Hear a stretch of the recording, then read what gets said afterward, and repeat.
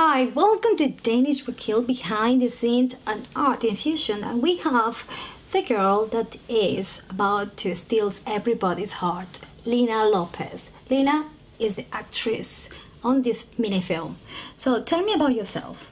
Well, I've been living in London for two years and I go to London College of Fashion and London is a city to be, so I'm very happy to be working with everybody in the industry here in London. But you're studying. She's she's brilliant, and not just that, she is studying. What are you studying? Fashion journalism. Wow! And how comes you are passionate to to to this type of fashion journalism?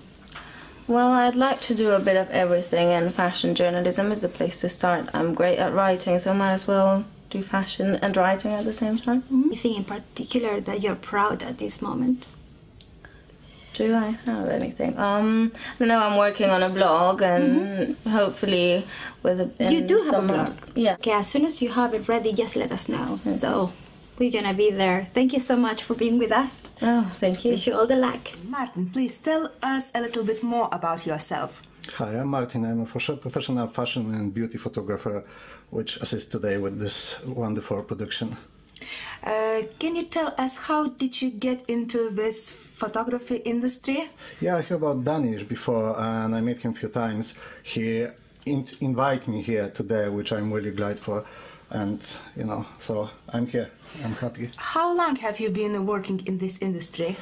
Well, in, in photography industry, I'm about 10 years now, maybe not all. 10 years? 10 years now, yeah. Wow. So tell me about your biggest project, about your work uh, which you are proud of.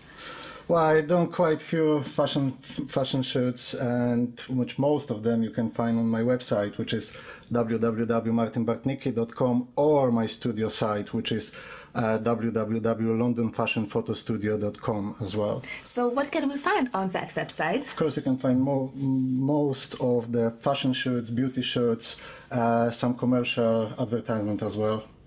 Thank you very much, Martin, for your time. Thank you very we much. We will have a look at your website. Thank you very much. Thank you for your time. Thank you. Hi, we are here from behind the scenes of this fantastic film. And your name is Claire. She's responsible of the makeup.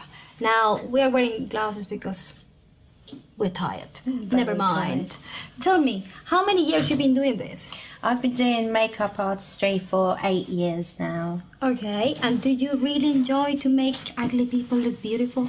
I love to make ugly people make beautiful. Oh, uh, but tell me something else. Is is is any part of the whole makeup and hair that you enjoy the most? What do you enjoy the most? What kind of makeup? What kind of hair? I like really outrageous, avant-garde style, uh, more theatrical, um, just very strong makeup. So, have you done movies before?